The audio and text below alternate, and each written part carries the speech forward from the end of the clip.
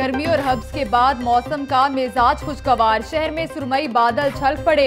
Abbott road, Davis road, Shimla Pahari, Lakshmi Chowk, मुस्लिम town और Iqbal town में बारिश और यालाबारी।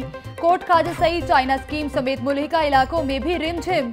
मौसम सुहाना होने पर शहरियों के चेहरे खिल उठे।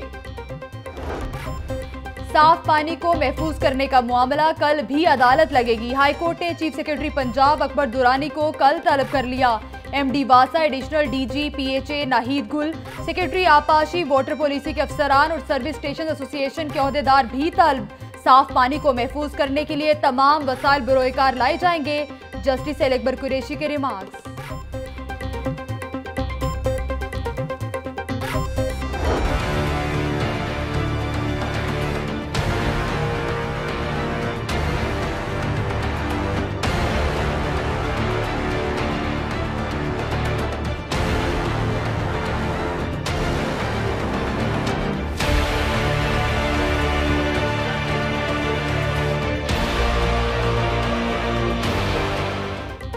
मोटरसाइकिल चलानी है तो हेलमेट पहनना पड़ेगा। बगैर हेलमेट मोटरसाइकिल सवारों के खिलाफ ऑपरेशन जारी।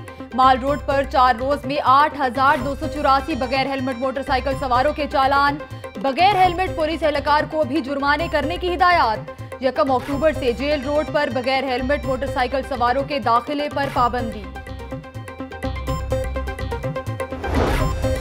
शहरियों के चालान पे चालान, पुलिस वालों को फ्री हैंड। ई चालान का खौफ ना हेलमेट की पाबंदी, बगैर हेलमेट के पुलिस एहलकार सरेआम कानून की धज्जियाँ उड़ाने लगे।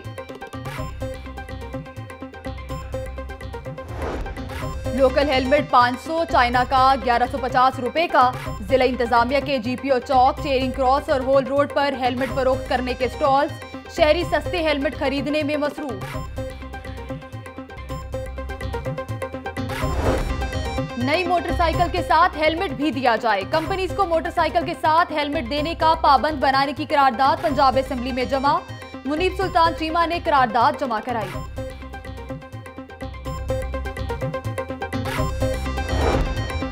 माल रोड और हाल रोड के बाद अब jail road clean up mission. अदालती हुकुम पर जेल रोड की सर्विस लेन पर तजावुजात के खिलाफ ऑपरेशन।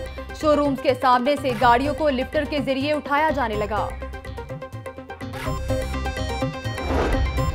यकम अक्टूबर से सुबह भर में तजावजात के खिलाफ ग्रैंड ऑपरेशन का फैसला। सीनियर सूबाई वज़ीर अब्दुल अलीम खान की जेर सदारत इजलास। सियासी दबाव को खातिर में ना लाया जाए, तजावजात के खिलाफ तमाम इदारे मिलकर काम करने की हिदायत। सूबाई वज़ीर का कहना है कि आइंदा दो हफ़्ते हर जिला की इंतजामिया का इम्तिहान है। सौ रोजा प्लान में पंद्रह सूबों पर काम कर रहे हैं।